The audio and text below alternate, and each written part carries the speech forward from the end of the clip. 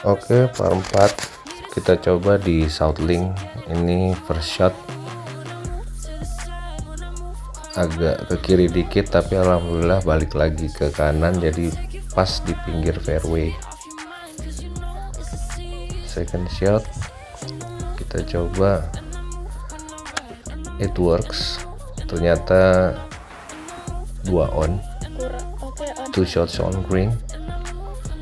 Oke shot ketiga. Kita coba berdi. Ternyata nggak nyampe. Ternyata nanjak mbaknya lupa ngomong kalau ini nanjak. Fourth shot kita coba untuk par. Par nggak ya?